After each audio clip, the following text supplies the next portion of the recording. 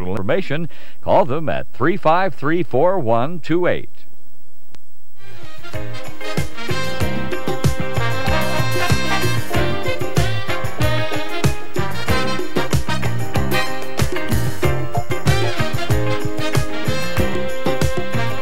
From Cambridge, little mime, a little magic from an old friend. He's been somewhat transformed here, but I think you all will recognize Jim Vetter. He will be performing in Cambridge in a show called Illusions this coming weekend. We'll give you more information about that in a few moments. So, watch this Jim Vetter in action.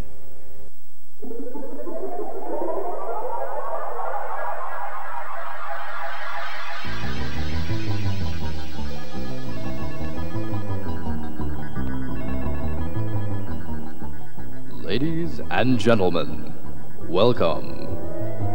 We are now pleased to present the world's first Automatronic Showcase.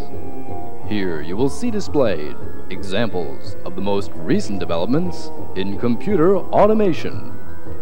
We are proud to present the most complex model ever built, the model JIM-20 Disco, Disco Robot. This robot's computer brain is composed of thousands of tiny circuits that enable it to perform demonstrations that defy the laws of nature, all through the wonders of modern electronics. Wonders of modern electronics. Wonders of modern electronics.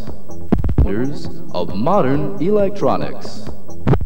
The JIM-20 is now in complete control of all functions of this disco dance floor. For example,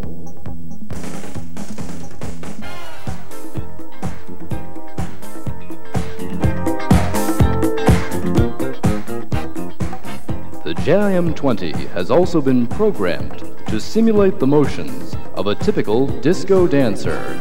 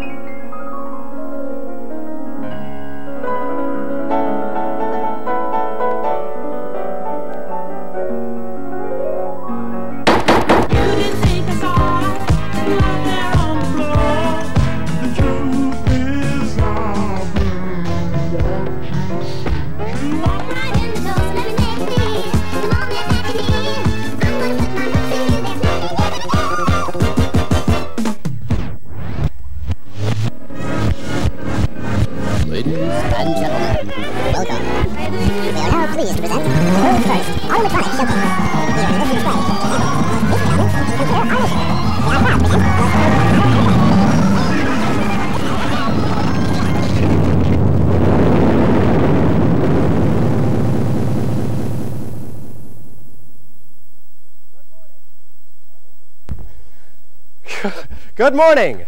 My name is Jim Vetter, and the show that I'm performing this weekend is called Illusions An Evening of Mime and Magic. Now, that may sound like an odd combination, but when you think about it, it makes a lot of sense. Because mime is the art of taking things that really aren't there and somehow making it seem as though they are there. So when you do see that they're not there, you won't have any idea why it seemed as though they were there in the first place. Now, magic is almost exactly the same, only the opposite. Now, magic is the art of taking things that really are there and somehow making it seem as though they're not there. So when you do see that they're not there, you won't have any idea why it seems as though they were there in the first place. Now, I know it gets a little bit confusing, but let me give you a more concrete example. Let me explain how one of the classic tricks in magic is done. This is a trick that many of you may have seen before. It uses one, two, three, four, five, six solid steel rings. And what the magician does is to take the rings and make them seem to link together. Now you will notice that I said seem to link together, because that's the way it works. The rings are very shiny, the lights are very bright. The reflection off the front ring seems like the reflection off the back ring. It seems as though the two rings are in fact linked together, whereas anyone actually here in the studio can tell you that it's only an illusion. The whole time the rings are never actually... I tell you. Sometimes I talk a little fast. It gets a little confusing. But I will slow down. I'll use a few more rings, and I guarantee it will make even less sense. If I use one, two, three rings. Three rings means three times the reflection. That's three times the shine. That's three times the chance that the rings will somehow actually seem to be linked together. However, Natalie right here will show you. Natalie, would you just step right up, grab the bottom ring here, and pull on it.